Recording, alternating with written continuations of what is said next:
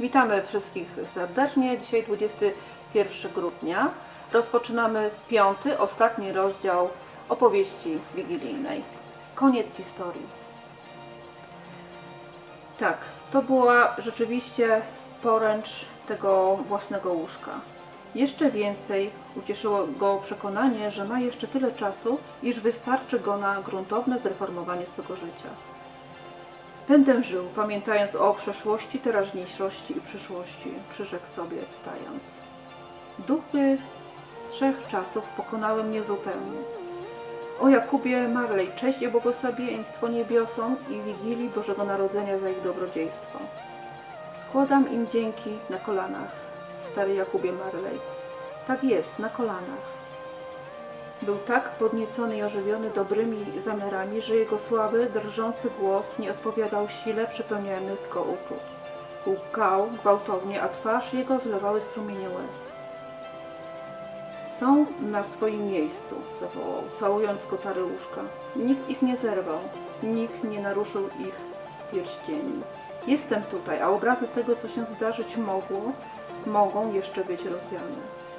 Wiem, że one znikną i jestem o tym przekonany. Jego drżące, ze wzruszenia ręce nie mogły sobie poradzić z ubraniem. Wdziewał rzeczy na lewą stronę, szarpał je, upuszczał. Słowem wyprawiał z nimi istne awantury. Nie pojmuję doprawdy, co się ze mną dzieje, mówił, śmiejąc się i płacząc jednocześnie, przy czym wdziewał skarpetki na ręce, stając się podobnym do statui Lejkona, opasanego wężami.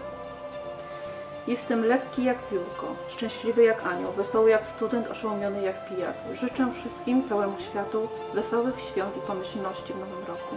Wiwat! W podskokach pobiegł do pokoju bawialnego i tam przystanął zdyszany. Wszystko w porządku? wołał, rozlegając się dookoła.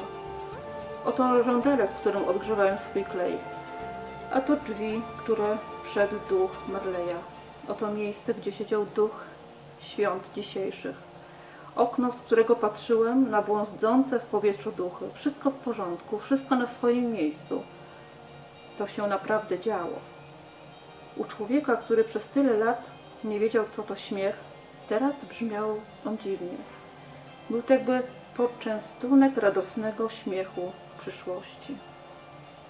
Nie wiem, którego dziś mamy, mówił sam do siebie Scrooge. Nie wiem też, jak długo przebywałem z duchami. Jestem jak nowonarodzone dziecko.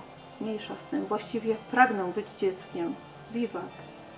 Jego okrzyki przytłumiły dzwony kościelne, które wydobywały z siebie wyjątkowo radosne dźwięki.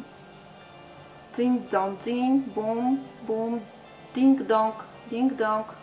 Cudownie, wspaniale, zachwycająco. Pobiegł do okna, otworzył je i wychylił się. Ani mgły, ani wilgoci. Jasny, pogodny, mroźny dzień.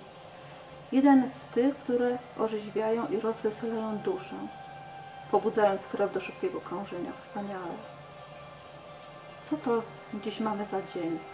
Zapytał przez okno małego chłopca w podświętnym ubraniu, który zatrzymał się przez oknem, bo może chciał się Scrooge'owi przypatrzeć. Co? mruknął zdziwiony chłopiec. Pytam, jaki dzień mamy, mój chłopcze. Powtórzył Scrooge. Dzisiaj? Oczywiście, Boże Narodzenie. Serdecznie dziękuję za uwagę i zapraszam na kolejne czytanki już jutro wieczorem.